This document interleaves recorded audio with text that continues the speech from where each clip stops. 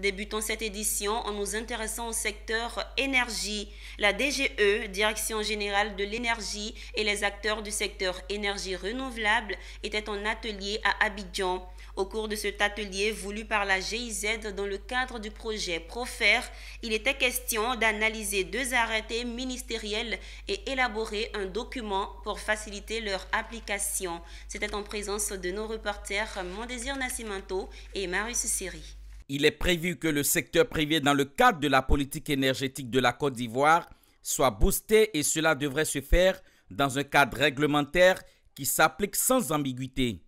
Or, l'applicabilité des tests élaborés en 2014 et 2019 pose à certains niveaux des difficultés. Cet atelier s'est donc penché sur la question. Initié par la DGE, Direction générale de l'énergie, il a rassemblé les acteurs du secteur énergie renouvelable venus réviser les arrêtés ministériels 105 et 81 portant sur l'autoproduction des énergies renouvelables et la commission des autorisations d'agrément. Lors de l'application de ces tests, il nous revient régulièrement que euh, interprétations, ce qui rendait l'application de certains articles un peu difficile.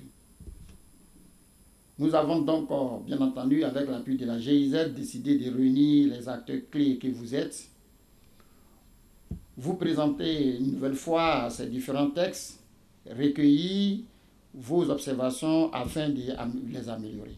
L'atelier de ce jour qui s'inscrit dans le cadre de la concertation avec le secteur privé, permettra de présenter les arrêtés 105 et 81 que tout à l'heure notre collègue a eu l'occasion de présenter et de faire ensuite une analyse critique des tests sus-mentionnés et enfin d'élaborer une matrice de recommandations pour l'amélioration des documents examinés.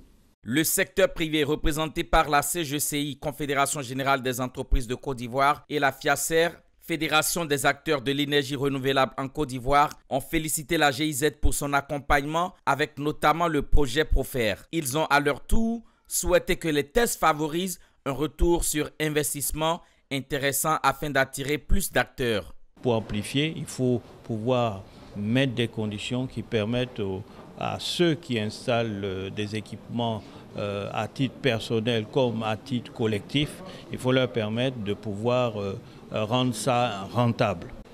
cet atelier est important pour nous en ce sens qu'il y a des enjeux très importants au niveau de l'autosuffisance énergétique nationale. Les parties prenantes, acteurs de la filière énergie renouvelable, au sorti de cet atelier poursuivant les échanges dans les prochains jours.